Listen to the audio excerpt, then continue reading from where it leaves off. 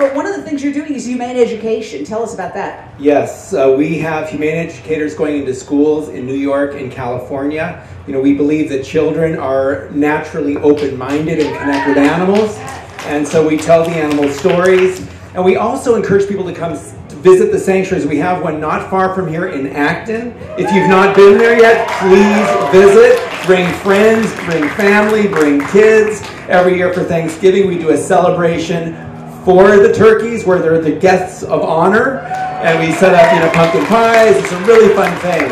Um, you know, Farm Sanctuary is a place of healing for animals and for people. And for children today, you know, many of us grew up eating meat without thinking about it.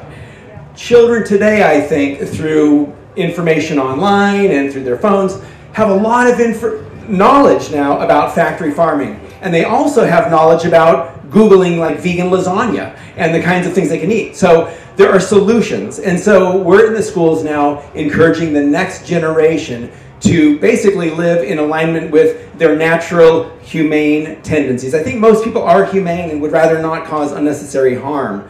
But when everybody around you is doing something bad, you think it's the normal thing. And then people tend to start doing what those around them do. We're social animals. So if children are exposed to seeing farm animals as friends instead of as food, and there are other people who uh, model that relationship and that connection and that behavior, it's going to start rubbing off on the kids. So we're in the schools and, and hoping that more of these kids start thinking about this and maintaining their natural connection and compassion for animals.